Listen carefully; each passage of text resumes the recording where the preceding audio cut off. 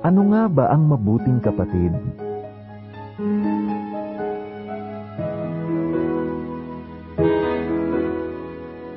Walang kapaguran ang pag-aalaga?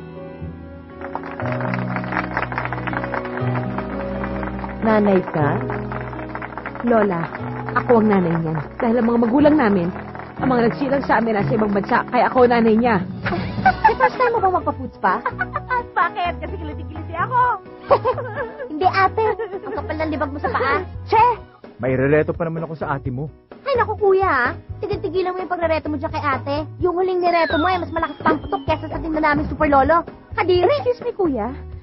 Nagkataon bang ang deodorant mo eh Seven Wives? Ah, oo. Paano mo nalaman? O eh, kasi mukhang patay na yung isa pa. Check naman. Ah, muna kasi. Iba to. Kung si ate, kilig na ang puso,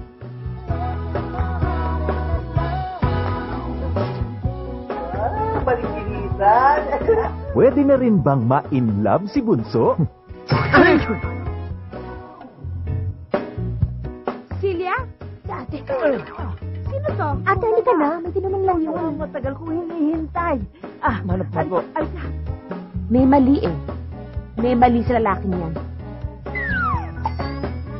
Anong mali? Yung short? oh, pasok na. Dalawa na. Diyan, sa kanan.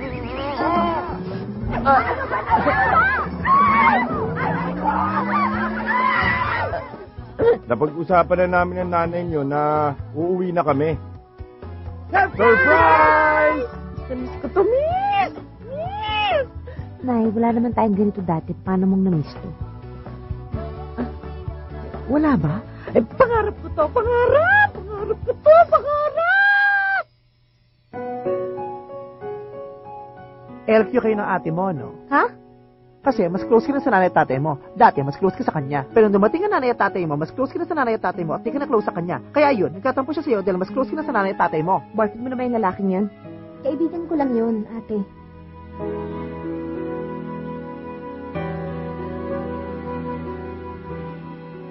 Sinasabi ko sa'yo, Cecilia, wag na wag akong pagsisinungalingan mo. Ate, sana rin ate matanggap mo na may ibang tao na pwede magmahal sa akin at hindi lang ikaw.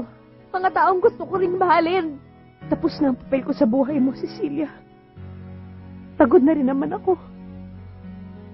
Hindi ko na kaya tuwing nanay at tatay mo. Hindi mo na ako kailangan.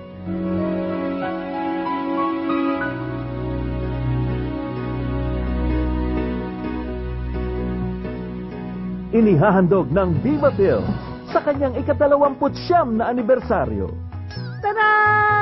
Ang pagsasama ng dalawang box office queens, Judy Ann Santos Tandaan mo, pag may magnanakaw, yung laman ng bag mo, yung laptop, cellphone, pati laman ng pitaka mo, bigay mo na, huwag ka naman labanan, baka naman masaktan ka pa. at Sarah Geronimo. Eh kung meron may isa sa kanila dito na magnanakaw, eh alam niyo na ho kung anong nanakawin niyo.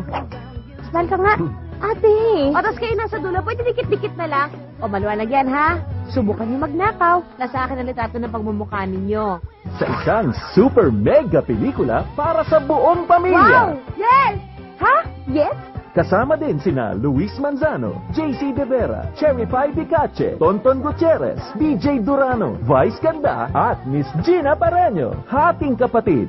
Sa direksyon ni Wen V. Deramas. Naku, huwag lang kang papasok. Kinakabahan ako. Hindi ka pwede pumasok. Galit na galit yung ate mo. Baka kung ano mangyari, huwag kang pumasok. Ay, hindi, pumasok ka na.